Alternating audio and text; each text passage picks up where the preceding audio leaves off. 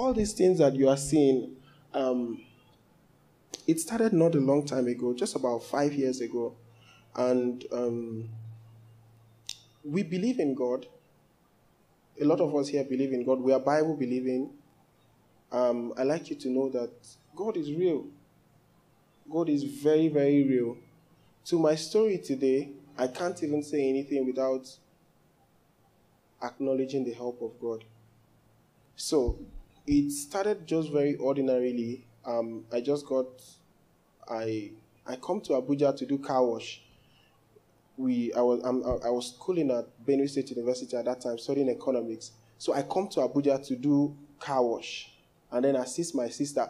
You know how you wash the car in the morning, you know you bath the baby or cook or just just one of those those things. So I used to do that, and then back at school, I used to do um, this um, ushering work where you share food at events. So I was doing that, and I was doing it to help with school fees. He he wasn't aware. I, I have lots of siblings and all of that, but none of them none of them ever brought money for school fees. So I had to do the car wash. I had to come to Abuja, Apo Resettlement Zone A. I had to do the car wash, and then from there go back to school. Most times before the the the, the section the, the break is over, we could have realized a good amount. And have a brother who is so accountable, Elisha. He put the money. If they dash us money, maybe you wash somebody's car 500, they give you 700. The 200 is our own. He keeps it. So at that, that pace, we're able to generate money to pay school fees, to do all manner of things. And that was just it.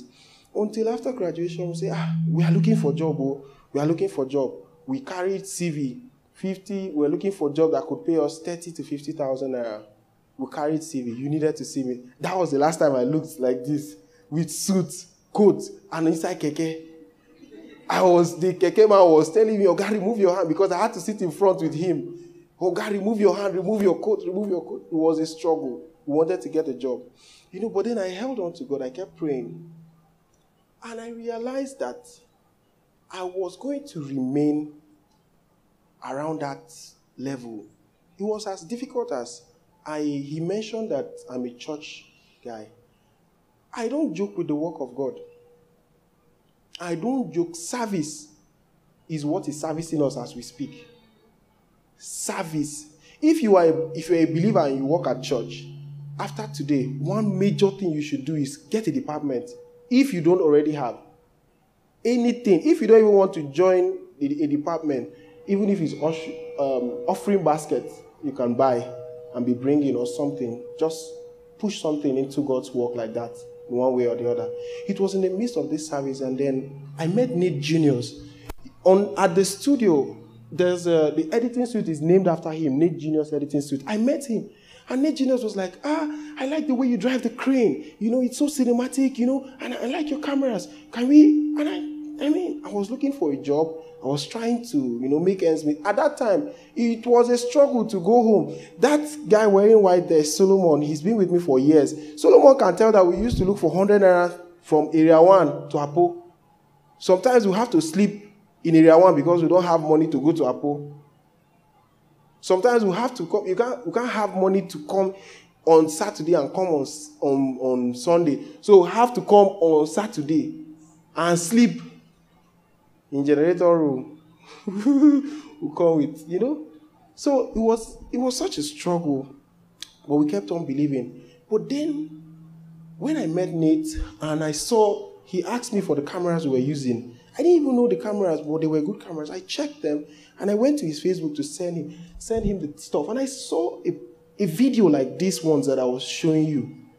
Ah, a drone was flying for somebody's wedding. I said, and that time drone was the new, you know, it was just coming out. I was like, why would somebody's wedding have a drone? Even church service, we don't even have ordinary wedding. You know, and I got to him, I said, ah, sir, can I see this thing you do is very sweet. Oh, ah, ah, this is what I do, but this is on another level. He said, yeah, that is what he does. You know, he was doing for Dangote. He was, I was like, wow. I didn't think of the money at the moment, but I felt like I had a witness in my spirit that this is what you can do this is what you can do. I started thinking, what, what can I do? What can I do? How, how will I how will I be able to put this together? I don't know how to edit videos. I only know how to carry the kind of the cam- kind of cameras these guys are using is different from the ones that we use broadcast cameras. They are different from the ones you use at stadiums, at churches. These ones are DSLRs. And we need DSLRs to get this done. I do I've never used it. So I met him. I said, Nate, please, can I come be coming to your place? That was just how we went in. And I, I spoke to him. He said I should come and be moving around. And I wasn't collecting any money from him. I said I just wanted to learn, see how he does what he does. Because I had a witness in my spirit at the place of service. I met him at church, remember, at the place of service that I can do it. You know, so I just followed him around, followed him around, followed him around. And by God's mercies, I was able to make something out of it. I was able to go learn how to set a gimbal, set cameras. I was the least guy among at his place. But then I was not looking at that.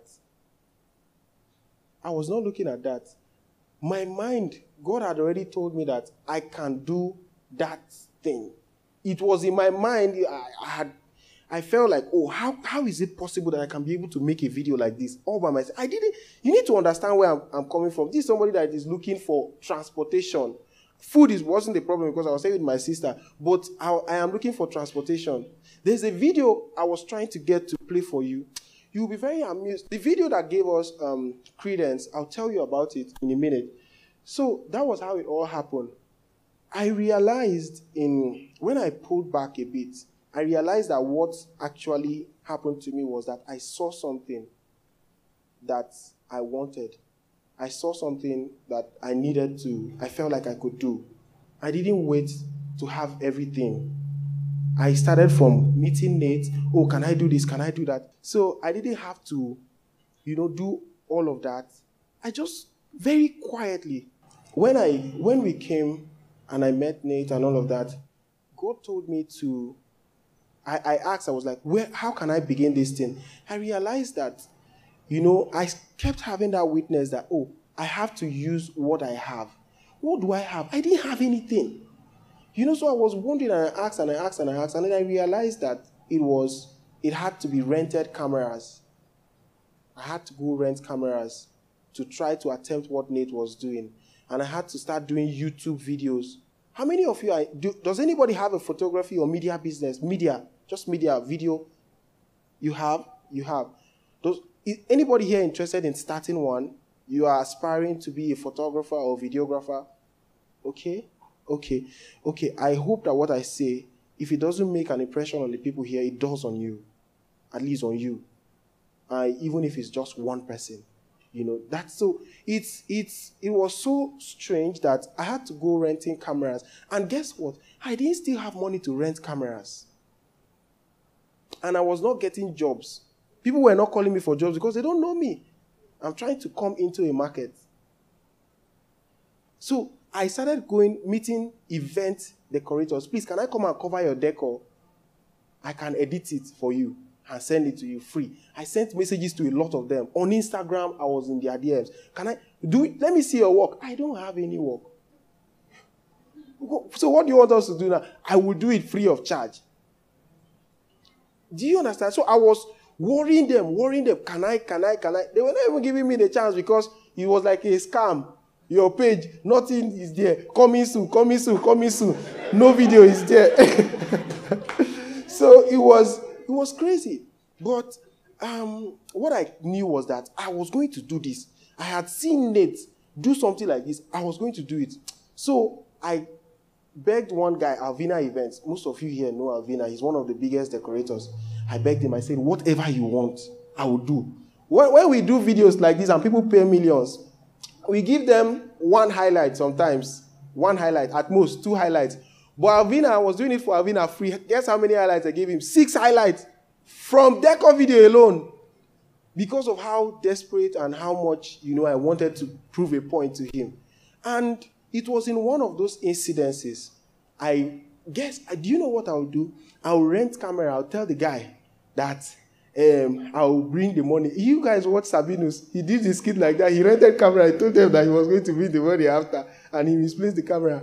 So I'll go and rent camera. I'll tell the guy. There was even a, I'll collect the camera. I'll tell them I'll bring them. So while the event is going on and I'm uncovering the event, I'll be calling my brother.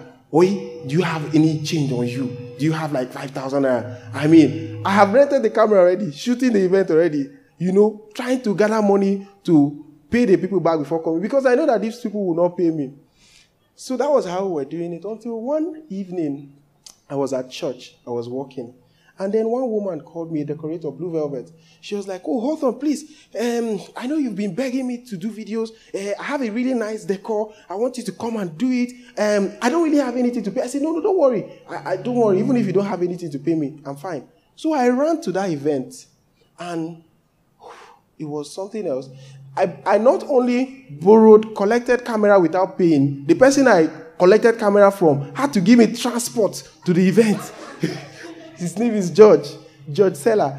George had to give me transport. After telling, begging George that I'll give him the money, he gave me 500 naira to carry moto to Blue Velvet. And when I came, I saw a lot of familiar faces. I saw people that were biggest in the industry. Every vendor there were the biggest.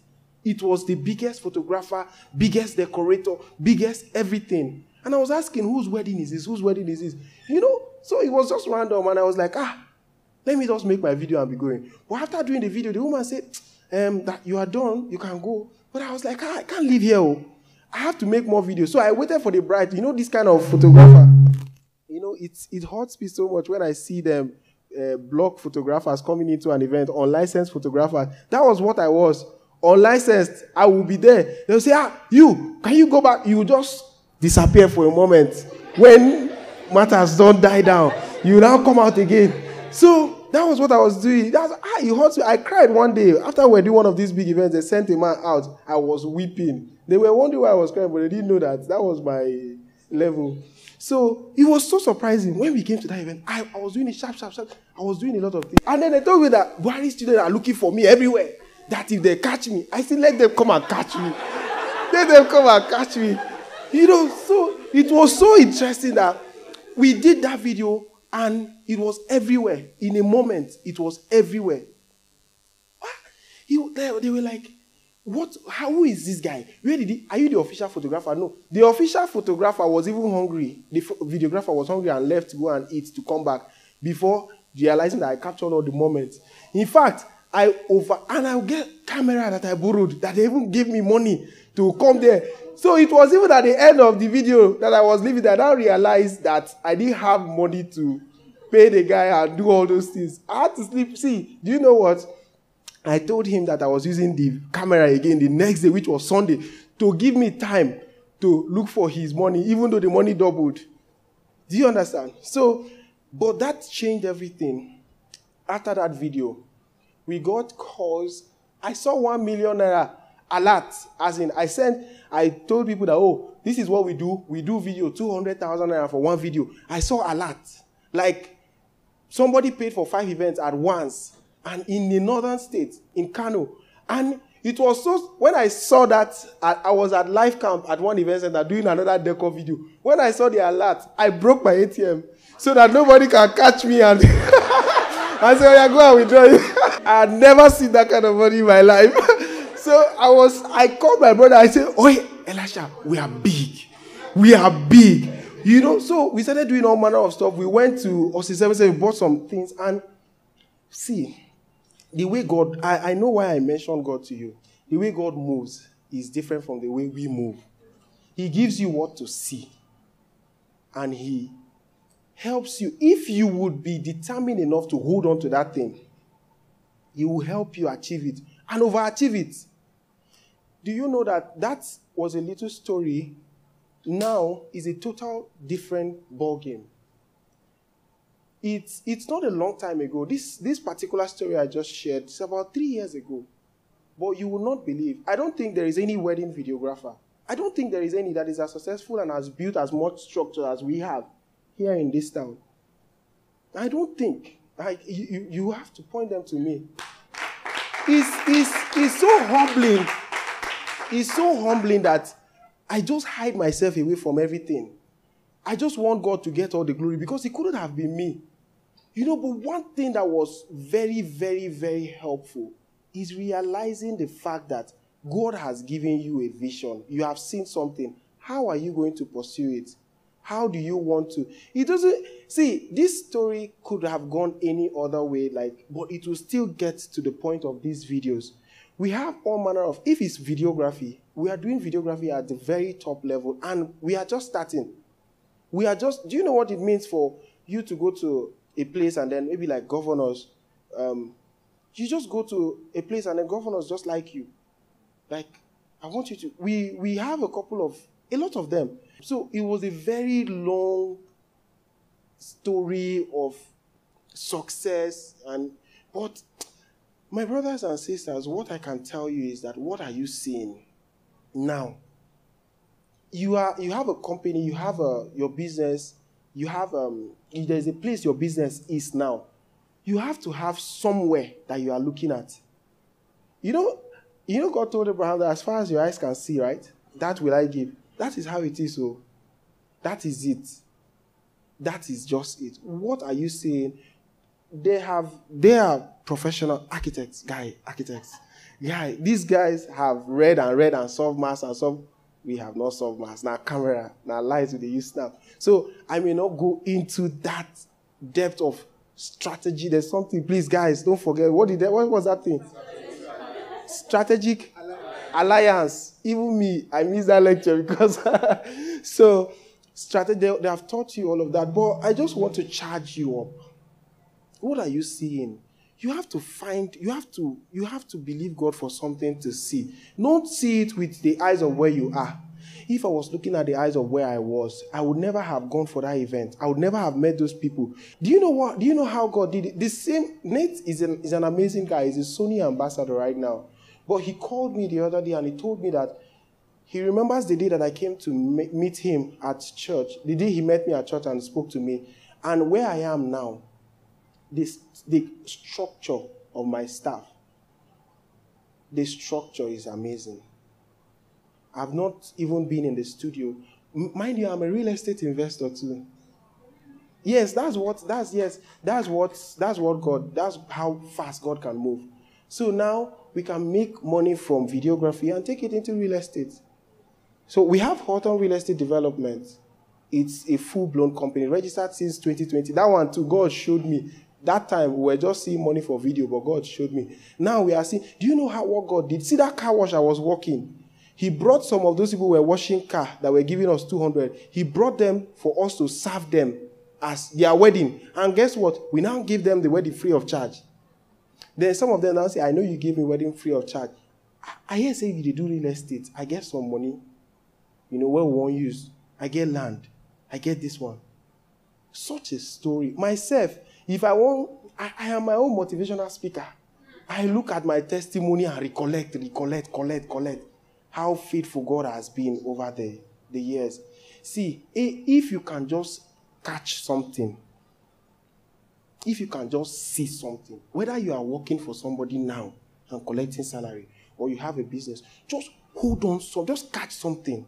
If you can just catch something, just hold on to something. If you want to be somebody who puts this kind of meeting together for people, young people to come and um, learn and you know be blessed, I think this is the best place to see it, Abby. Fill your mind with what that particular thing that you want your life, that place you want your life to be in five years, fill your mind with it, with your company too. That visualization, you have to be clear. You have to, no matter the struggle, if the, there, there were times when we were putting that studio together, if I tell you, it was so, I had to, it got to a point I had to make the, the things that we're ordering from, from Milan, from Turkey, that we wanted to make it a very big, um, like a luxury studio that was that is what it is. The things that were, it was so difficult that we had I had to start using some of them as screen saver so that I will be seeing them. Please don't let's not I believe that some of you have heard this before. I just want you to my life changed by that. I saw something, I saw someone do it. I saw now with the real estate, before I even did, I started seeing Cosgrove developing estate and putting it together neatly arranged. You know, people buy, people are living there you know, very quietly. How can I start this? How can I? I went to Cosgrove during um, COVID. While everybody there were no weddings, they were doing sites. Sites were operational. I went there to go and learn how to do one or two things, develop connections, do one or two. Now those people that I met at Cosgrove that were people are now doing their work by themselves and now say, oh, how can we come in? Let's work together. Do you understand? Anywhere that you are now is enough for you. That is what I'm saying. Anywhere that you are now is enough. Is you you have you know God that brought you this far did not brought you here to leave you, right? You hear it. Your pastor says it. God that brought you this far did not. Yes, it is true. It is if you would just believe, if you if you have that vision, if you have where you are, if you have put it, you look like a Forbes guy. You like this looking at me. Yes. If you want your business or your company to be on Forbes and all of that, my brother, if you put it in your head, three years too much. You run with it, you run through the struggles, you run through all manner of problems. And I, I wish I had more time to share. There are some things that I saw going on, some little challenges that I saw, you know, that comes up in that tries to give you, um, you know, that tries to make you doubt where you are from or what you are doing. You know, there are lots of them, but one one thing that you can hold on to is stand your ground. Life itself has a way of conforming to you who has a very stubborn mind. I want it, I want it. If you need, if you are, if you are failing in strength, carry scriptures. You, you, are, you, you believe in the Bible. Carry scriptures. There are all manner of scriptures. You are what God says you are. There are so many of them. Carry them and keep restating it day and night. Hold your. For me, um, I don't know if there are Muslims here, but I work with Muslims. 95% of the people who work with are Muslims. The state governors, the um, we just Solomon is unaware. The, the governor of Yobe, they reached out to us that they want us to take care of a number of projects. Like virtually all the northern governors, Katsina, so many of them, we work together. One thing is consistent with me I believe in God. That faith that I have, the name Jesus, eh, opens every door. That is, I don't even joke with it. I spent hours in worship alone to this name. Do you understand? Don't take, don't, don't, for me, my story, I can't share with you without telling you that you should take seriously your walk with God. There are some things that God would tell you that ordinarily, ordinarily, if you were to find out on your own, it would take you five years. But just by close work with God, I mean very close work, not social media work, very close work. Only you and God. Nobody knows you've done that amount of worship. Nobody knows you are doing that amount of, not for anything. You are there with the tomorrow you are looking at. I'm telling you, life change, it changes so fast. People, I used to have a quote on my phone that says life can go from zero to 100 real, real fast. That happened to me. I'm not at the very place where I want to be. I have I, I, I the vision I saw some years ago. I, I am living the reality now, and I have new visions for today that I'm reinforcing day by day. Even my being here is a confirmation of that vision. I said, ah, how can I move on without giving? We have an international foundation coming soon, reaching out to prisoners at prison houses and also um, school children, because there was a point I was sent out of the of the exam hall for not paying school fees of I think about 19,000 naira. Now there is no staff that collects less than double that amount you know, in a, even our cleaner. Yeah, and it's not far. Anything that it's just Hawthorne Studios here. It's just across. You see, it's just across. We are neighbors with Rockview, big hotel like this. So that is just. Don't even let anything put you down. You, we, we have all that thing set up, and God has a way of, you know, if you get to a point, He shows you where next to be. You get to so hold closely. If you are if you're a Muslim, take your prayers very seriously. If you're a Christian, take your prayers, take your God very, very seriously.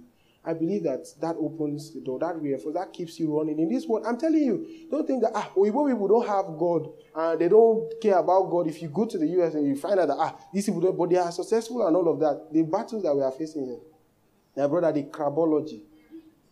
I'm telling you, recently I had some people talk all manner of things about me. Me. Me that you've never even seen before. These people have not even seen me before. They have not even seen me before. We had to call them to say, oh, yeah, come, come. What did you say? Where, where? And then we realized that these guys are just agitated. This guy cannot make this giant stride at once like this. That is just their problem. Who what it concern American? You are doing good, you are doing good for yourself. Do you understand? So I just I am so grateful that I've had this time to share this with you. I, I hope I didn't bore you. I